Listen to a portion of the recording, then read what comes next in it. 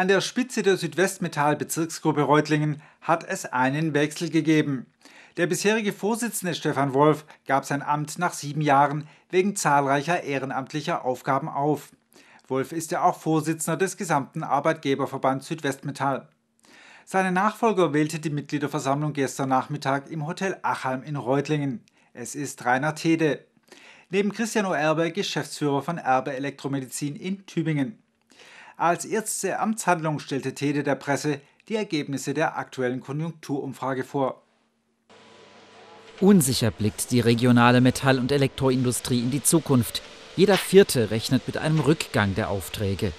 Ebenfalls rund ein Viertel glaubt, dass es im kommenden Jahr mehr Aufträge gibt. Ein weiteres Drittel rechnet damit, dass alles so bleibt, wie es ist.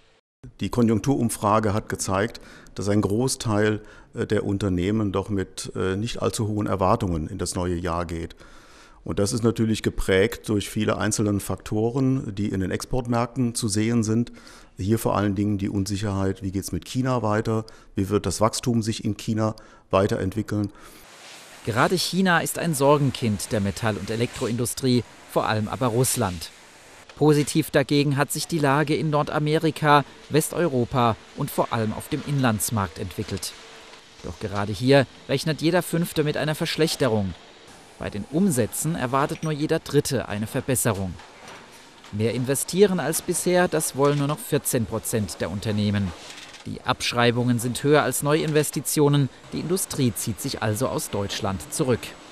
Die Tarifverhandlungen haben, wenn man die drei Tarifabschlüsse der letzten Jahre zusammenzählt, waren das 14 Prozent äh, Personalkostensteigerung.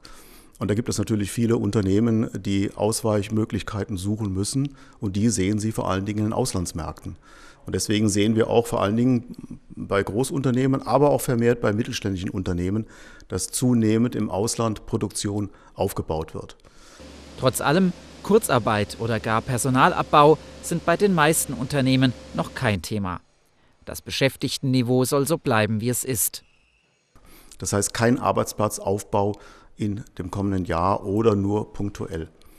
Es sind viele Unternehmen, die noch Arbeitsplatzaufbau haben in den sogenannten nicht produktiven Bereichen. Das heißt, in Forschung und Entwicklung wird weiter kräftig investiert, aber die reine Produktion ist eher stagnierend oder gar rückläufig.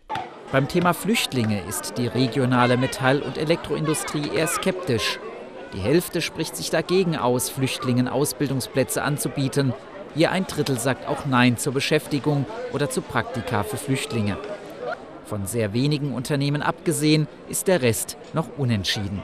Hauptproblem äh, bei der Beschäftigung äh, von Asylsuchenden und von Flüchtlingen ist natürlich die Sprache, es ist die Ausbildung.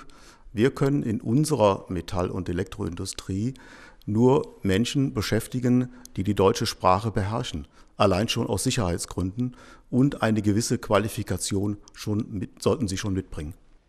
Die ist aber unter den Flüchtlingen schwer zu finden. Nur 11 Prozent von ihnen hätten einen Berufsabschluss, der mit dem deutschen dualen Abschluss vergleichbar sei, so Tede unter Berufung auf Zahlen der Bundesagentur für Arbeit.